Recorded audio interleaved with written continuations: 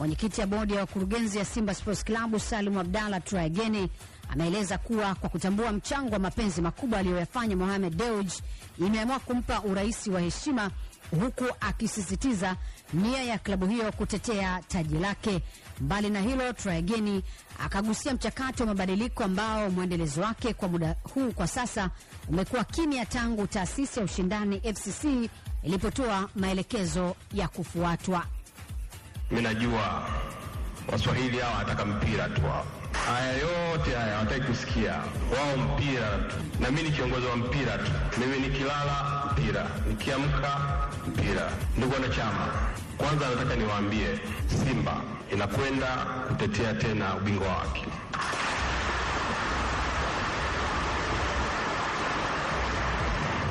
Hilo halina shaka kabisa. Nia tunayo, uwezo tunao, nguvu tunayo, pesa tunazo.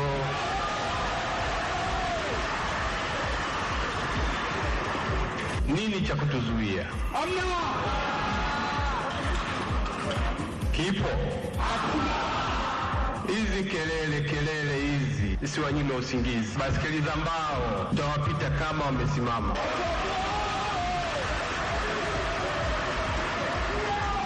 Watashangaa, watashangaa. Kwa nini nasema haya? Tunayo jeuri. Simba imewekeza kwenye mpira. Simba haijawekeza kwenye kejeli, maneno, fitna na vijembe. Hayo hayana tija kwetu. Tumeshapita huko. Sisi we are next level. We are next level. Huko tumeshapita. Ndani ya klabu kumi bora Afrika, Simba tumo.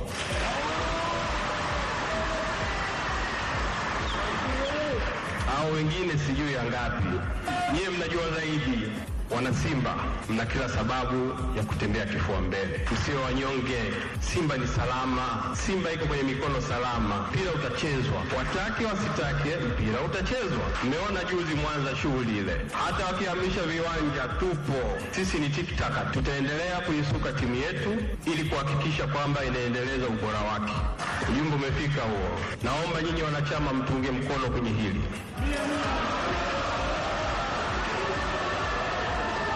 Pale tunapofanya maamuzi magumu kwa niaba yenu, uelewe tunaumia sana mara mbili tukiwa kama viongozi pale tunapokosa matokeo. La mwisho katika kuhakikisha kwamba Simba inafanya vizuri, na baada ya kuondokewa na mwenyekiti wetu wa kamati ya usajili mzee Haspo, bodi ya klabu ya Simba iliona izibe nafasi hiyo kwa kumchagua ndugu Kasim Deuji kushika nafasi ile.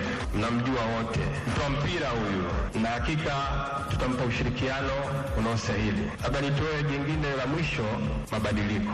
Miaka michache tulianza mchakato wa mabadiliko. Kwa sasa mabadiliko yamekamilika. Upande wa serikali tumekamilisha taratibu zote, mwekezaji ametimiza wajibu wake, 20 bilioni iko pale, ipo ya uhakika, na tunapata takriban milioni mia mbili kwa mwezi kutoka kwenye pesa ile kama interest ya kusaidia kuendesha klabu. Jukumu lilobaki ni upande wa wanachama. Kazi inayotakiwa kufanywa ni kuhakiki wanachama, kufanya transfer asset. Sasa hili ni jukumu la upande wa Simba, mwekezaji ametimiza wajibu wake. Katika kuona hilo, kama bodi kaamua kuiunda upya kamati ya mabadiliko ili kusukuma jambo hili lifikie mwisho. Chini ya mwenyekiti yule yule Bwana Azizi Kifire, tumemwongezea hapo mwenyekiti wetu Bwana Mangungu ili akasimamie maslahi yetu. Jumbe wa bodi Dr. msomi huyu mwanasheria Kita naye tumemwongeza kwenye kamati hiyo. Yuko ndugu Mlamu ambaye alikuwa katibu wa kamati hiyo, anaendelea na madam CEO ili kuhakikisha kwamba jambo hili linakwisha kwa haraka ili tufunge mjadala wa mabadiliko. Hakuna longolongo, hakuna ubabaishaji. Tutaisimamia Simba ikiwa salama na tutahakikisha kwamba haki za Simba zinalindwa, na katika uongozi wangu mimi nitahakikisha kwamba Simba inabaki salama.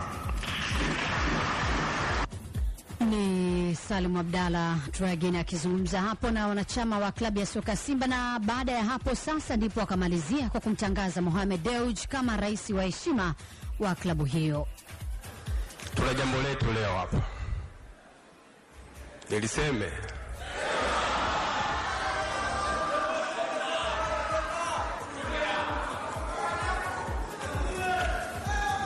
kutambua mchango mkubwa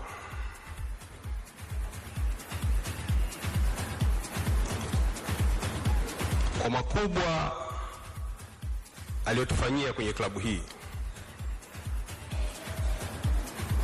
kwa mapenzi makubwa aliyonayo na klabu hii, kwa uwekezaji mkubwa aliowekeza kwenye klabu hii. Katika kikao cha bodi kilichokaa hivi karibuni kupitia ibara ya hamsini bodi imeamua kumpa urais wa heshima ndugu Mohamed Dewji. Ndivyo mambo yalivyokuwa leo kwenye ukumbi wa mikutano wa Julius Nyerere. Na kwa upande wake mtendaji mkuu wa klabu ya Simba Barbara Gonzalez, pamoja na kupongeza kazi nzuri inayofanywa na uongozi, amesema juhudi kubwa na jukumu kubwa lilopewa kocha wao mpa, e, mpya e, Pablo ni kuhakikisha timu hiyo inafika nusu fainali katika michuano ya kombe la shirikisho Afrika na kutetea taji la ligi kuu. Pia tuangalie msimu huu matarajio yetu. Bodi imetoa vitu vinne. Ya kwanza kutetea ubingwa wetu, ya pili bado tunaendelea, ya pili ni kuingia kwenye quarter final. Tulitaka kuingia kwenye CAF Champions League quarter final, bahati mbaya tumeteleza kidogo. Mwezi uliopita tumetolewa kwenye mashindano, but bahati nzuri Mwenyezi Mungu ametupa njia nyingine ya kupita. Wiki inayokuja Jumapili tarehe 28 tutakuwa nacheza na Red Arrows kwenye CAF Confederation Cup. Mwenyezi Mungu katupa njia nyingine ya kutimiza malengo yetu kwenye mashindano ya kimataifa. Tumemwambia mwalimu mpya Simba tumeshatimiza malengo yetu ndani ya nchi. Kikubwa tunataka mafanikio nje ya nchi kwenye mashindano ya kimataifa. Priority namba moja kwenye Simba ni kufanya vizuri nje ya Tanzania, na inaanza na homework ya kwanza wiki inayofuata. Tunataka kuingia nusu fainali ya CAF Confederation Cup. Goal number one. Namba two, tunataka kutetea ubingwa wetu kama tulivyosema mwanzo. Bahati mbaya, ngao ya jamii msimu huu tumeipoteza. Bodi ilituelekeza kwamba tunataka ngao ya jamii, bahati mbaya tujapata, bado tutaendelea. Bado kuna Azam Sports Confederation Cup, kuna Mapinduzi, mashindano yote na makombe yote ambayo Simba inashiriki tunataka kuyabeba nyumbani, ndio lengo letu na najua na timu yetu ya management, wajumbe wetu wa bodi, wadhamini wetu na sponsors mbalimbali tutafanikiwa inshallah. But nje ya uwanja, sisi kwa naongea malengo ya ndani ya uwanja. Nje ya uwanja, board imetupa malengo mawili. Ya kwanza ni kuendelea kupata wadhamini wapya ndani ya Simba Sports Club na hii kitu inaanza na uwekezaji kwenye digital. Ndio maana umeona msimu huu tumeanza na Simba app ndani ya miezi miwili tumeshatengeneza milioni mia mbili. Shukrani za kipekee ziende kwa wanachama wetu ambao wote umejiunga kwenye app, unapata habari live na wanaendelea kutupa ushauri. Unapoanza kitu kipya tunateleza kidogo, but ni nyinyi kama wanachama wetu, wadau wetu ambao unatushauri tuboreshe hapa, tufanye hivi ili tufanikiwe zaidi. Ni mtendaji wa klabu ya soka ya Simba Barbara Gonzalez akizungumza leo mbele ya wanachama 835 wa Simba waliojitokeza kwenye mkutano wa mwaka wa kikatiba. Kwa kumalizia na mkutano wa Simba, tumsikilize mwenyekiti wa klabu hiyo Murtaza Mangungu, ambaye yeye alijikita kusema kwamba Simba itahakikisha inawapambania upatikanaji wa mataji, huku akisisitiza kutatua changamoto ya upatikanaji wa kadi za wanachama kwa timu hiyo. Kwa sasa tofauti na mazoea tuliyokuwa nayo wanasimba kuwepo pale katika majengo ya, ya mtaa wa Msimbazi, majengo haya kwa sasa yamebadilishwa na kuwa ni sehemu ya kitega uchumi. Kipindi kabla ya mabadiliko haya kufanyika, jengo yote mawili yalikuwa yanaweza kuingizia kipato cha shilingi milioni mia mbili kwa mwezi, amin, kwa mwaka, lakini kwa sasa tumeweza kupata kipato cha shilingi milioni mia tano ambayo ni zaidi ya ongezeko la asilimia mia moja na hamsini. Pongezi za kipekee tuupe mtendaji wetu pamoja na management kwa kuweza kufanya mabadiliko haya. Hata hivyo, baada ya kukutana na kupata maelezo na maelekezo kutoka kwenu wanachama, tumeelekeza management izungumze na mwekezaji yule. Tutajenga ukumbi na ofisi za Simba ndani ya majengo yetu yale, ili vikao vyetu na wale ambao watapenda kutembelea klabu waweze kutembelea, na hilo litafanyika muda mfupi kuanzia sasa, na tunaamini kabla hatujafika mwezi wa Januari litakuwa limekamilika. Pamoja na kupata mafanikio haya, klabu yetu inaendelea kuangalia namna ya kuweza kutumia vitega uchumi vya majengo na rasilimali ambazo zinawekezwa juu ya ardhi kama kuwa ni njia ya kuongeza kipato. Kwa hiyo tunaomba mridhie, tufanye tathmini na tuendelee kuweka mipango mizuri ambayo tutawashirikisha ili kuweza kuongeza kipato cha klabu yetu.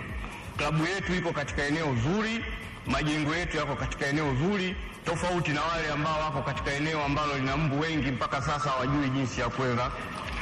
Tunaamini kabisa Mheshimiwa Zungu amekuja hapa kusema kwamba kweli tuna tatizo la kimazingira, tunakubaliana nalo, na wewe ni mbunge wetu Ilala, tunaomba upeleke mapendekezo maeneo yale yote wakazi wahamishwe, ili iweze kupandwa miti kusaidia kuongeza.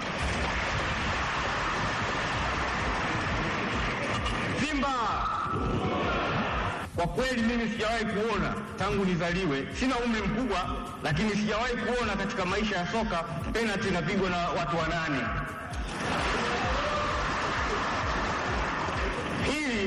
Kwa kweli ni jambo ambalo kwa kweli vyombo vyetu vya ulinzi na usalama tunajua wapo.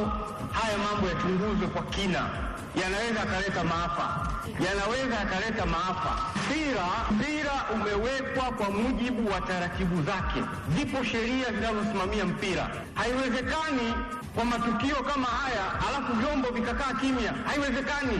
Hili ni jambo ambalo likubaliki. Simba alafu hawa ndio wanaotoka mbele za watu, na nyinyi mnapata wasiwasi, wanasema sisi tumeandaa mipango. Mipango gani? Ndivyo mambo yalivyokuwa kwenye mkutano wa klabu ya soka ya Simba. Na baada ya taarifa hiyo ambayo kesho zaidi utasikia eh, namna ambavyo maoni yatakuwa kwa upande wetu, lakini kwa sababu ya muda wetu tuachane na taarifa hiyo ambayo nitapita